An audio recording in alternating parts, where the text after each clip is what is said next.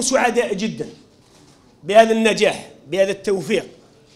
ونحن سنترك للأجيال التي تأتي بعدنا حركة موحدة حركة منسجمة حركة فاعلة. أنا منذ إعلان النتائج وأنا أتلقى في التهاني من مختلف الشخصيات في الجزائر ومن مختلف الشخصيات من خارج الوطن. التهاني تلو التهاني. وتابعت كذلك الحسرة الكبيرة التي أصابت خصومنا وأصابت خصومنا الأيديولوجيين في الجزائر مما قرأناه في صفحاتهم. الكفاح بلا هوادة من أجل التنمية الوطنية في أي موقع نكون فيه.